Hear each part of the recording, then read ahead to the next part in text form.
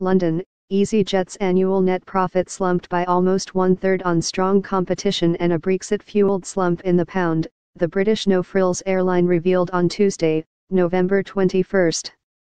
But its share price was up 5.6% at 1,349 pence in mid-morning deals on a positive outlook, according to analysts.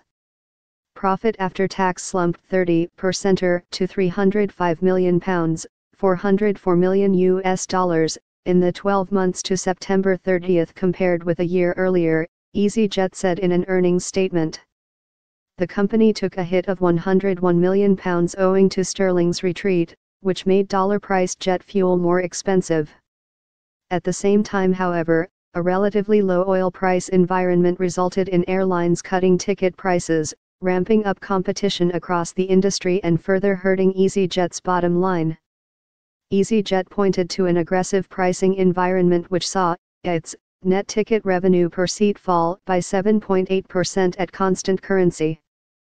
The group added that total revenue grew 8% to £5.05 billion in its financial year, while pre-tax profit was down 17%. EasyJet delivered a robust performance during a difficult year for the aviation industry, flying a record 80 million passengers, said the carrier's outgoing chief executive Carolyn McCall, who announced her upcoming departure in July. Looking ahead, Tuesday's earnings update provided signs of a break in the clouds, noted George Salmon, equity analyst at stockbroker Hargreaves Lansdown. Forward reservations are up on last year, and the trend for rising costs and lower prices is set to reverse in the coming months, he added. EasyJet is set to benefit also from the collapse last month of British short-haul carrier Monarch, as well as its recent part purchase of bankrupt Air Berlin. EasyJet is meanwhile among several airlines to have submitted bids for a slice of Italy's ailing Alitalia.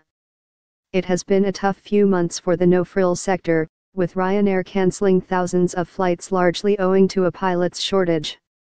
New leadership EasyJet will meanwhile be hoping for better fortunes under new management. After seven years at the helm, McCall is to become chief executive of British television channel ITV. Johan Lundgren, the former deputy of TUI Travel Group, will from December replace McCall, who has overseen a trebling of EasyJet's share price while heading the company. One of her final tasks has been the purchase of some Air Berlin operations for 40 million euro, 47 million US dollars. Back in July meanwhile, EasyJet applied for a new air operator's certificate in Austria to continue flying across Europe regardless of the final Brexit deal between Brussels and London. Britain's airline industry has soared over the last two decades under the single European sky system, which lifted trade restrictions on EU airlines.